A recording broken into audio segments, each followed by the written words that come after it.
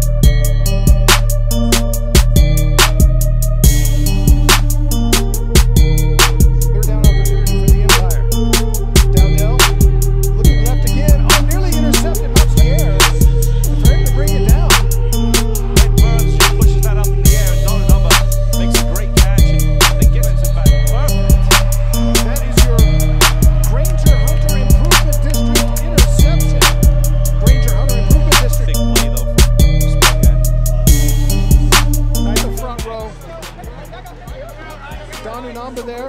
Again, put someone in the, in the ground. He's all over the place. Right there,